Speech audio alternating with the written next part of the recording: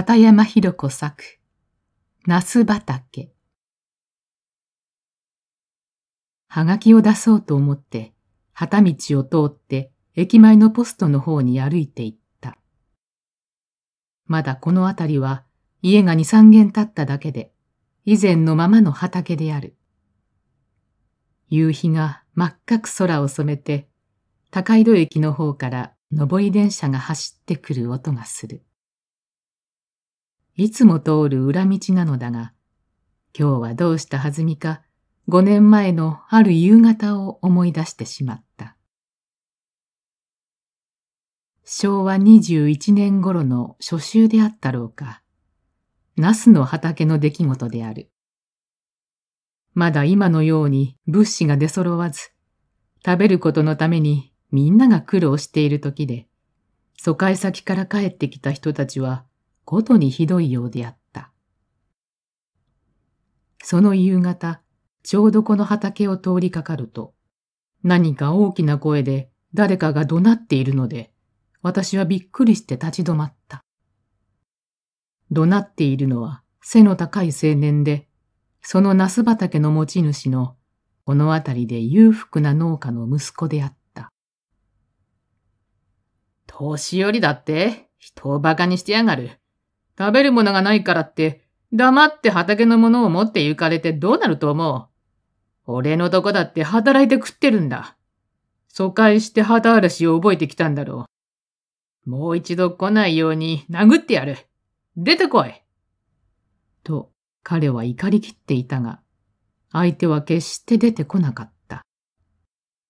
ナスの畑にうずくまって何も言わず下を向いているのは年寄りの女の人で、私よりは若いと見えた。大島のもんぺを履き、少しくたびれた黒ちりめんの羽織を着て、悠然さらさの買い物袋を両手に押さえてしゃがんでいた。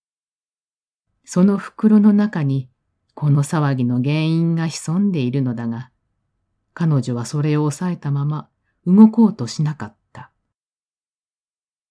それは愉快な景色ではないから、私は急いで通り過ぎようとして、思わず青年と目を合わせた。彼は怖い顔をしていた。あなた、あげてしまってくださいな。と私は小さい声で言って軽くお辞儀をして歩き出した。青年はもう一度声を張り上げて、さっさと帰ってくれと言っているのが聞こえた。彼は口では何と怒鳴っても年寄りの女を殴ることのできない内心はギャラントの紳士なのだ。ポストの用を済ませてから小さい買い物をして、もう一度その旗道を通ってみた。好奇心である。女の人はもういないで、青年がナスの隣の畑で働いていた。先ほどはおせっかいをしてすみません。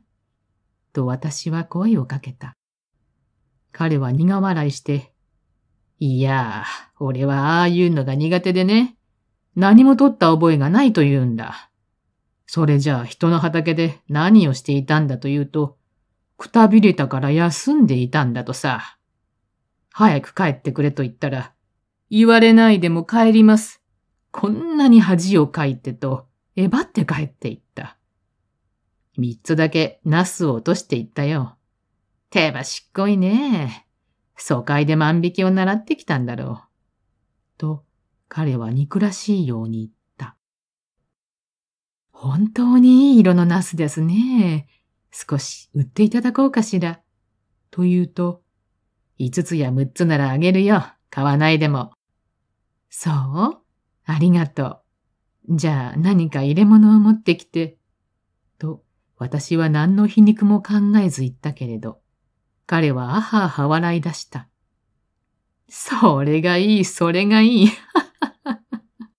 と、不愉快な気分をすっかり散らばすように笑っていた。